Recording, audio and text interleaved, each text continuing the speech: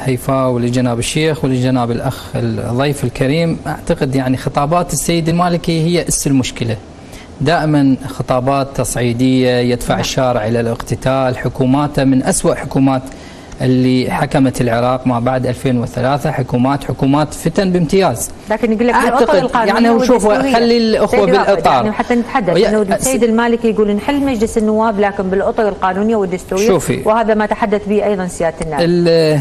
الإطاريون يعني أنا اللي يتحدث لي بالدستور. نعم.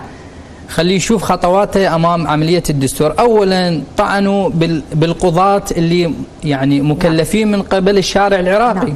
اللي هم القضاة يعني المفوضية العليا للانتخابات باعتبار إنه السادة يعني أعضاء يعني المفوضية العليا للانتخابات هم قضاة.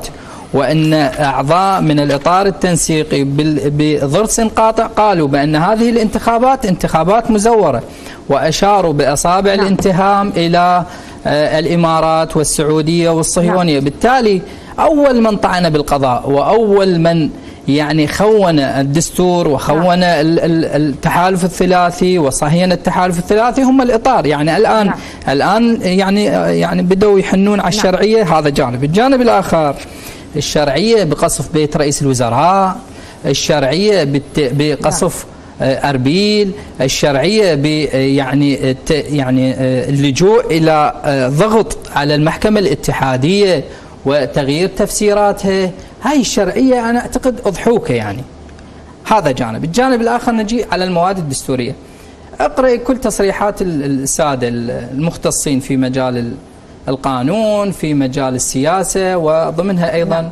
جزء من الإطار التنسيقي هذا الدستور الموجود بالعراق هو هذا أحد أهداف أو أحد مطالب المظاهرات العراقية بتصحيح نعم.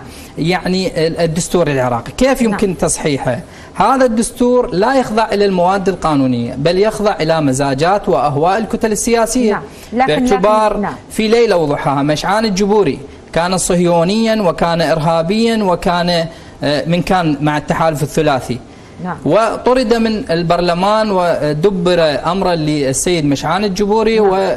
واستبعد من البرلمان في في نفس الذات نعم. ذهب إلى الطرف الثاني اللي هو الإطار التنسيقي أو القوى المتحالفة رجع السيد مشعان الجبوري